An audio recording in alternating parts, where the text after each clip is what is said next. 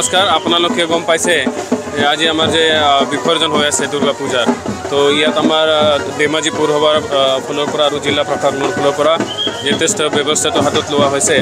আহ, আপুনি গম পাইছে মা- মানে সকলোৱে আমাৰ পূজা পাণ্ডাল যে আছে তেখেত আহি ইয়াত মানে লাহে লাহে আমাৰ বিসৰ্জনটো আৰম্ভ হৈছে।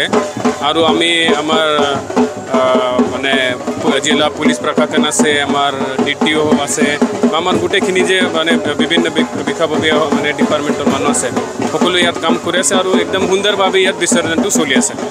আমি আজি যিহেতু বিজয়া দশমী তিথি বিসৰ্জন কৰা হৈছে আৰু ইয়াত আজি জিলাখনত সকলো ঠাইতে বিসৰ্জন হৈছে।